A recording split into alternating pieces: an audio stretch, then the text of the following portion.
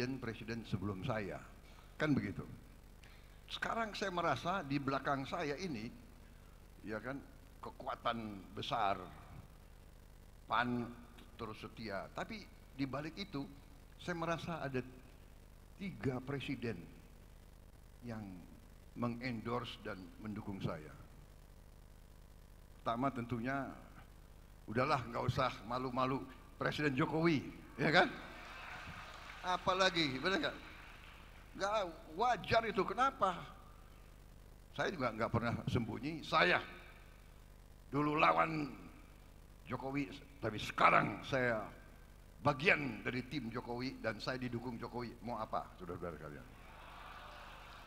Benar nggak? Udah nggak usah basa-basi lah, ya kan? Tapi saya juga didukung oleh Presiden ke-6, Pak SBY. Itu juga terang-terangan kan? Dan saya merasa saya juga didukung oleh Presiden Gus Dur.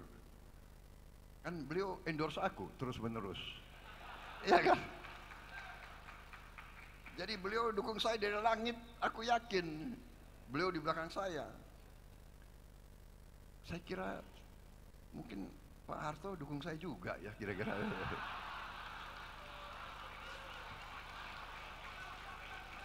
Presiden ya. Walaupun walaupun ada yang ngaku-ngaku kan selalu bahwa seolah Bung Karno milik suatu partai. Tidak, Bung Karno milik seluruh rakyat Indonesia. Feeling saya kayaknya beliau juga dukung saya juga kira-kira ya. Iya kan? Yang saya perjuangkan apa yang beliau cita-citakan. Indonesia berdiri di atas kaki kita sendiri.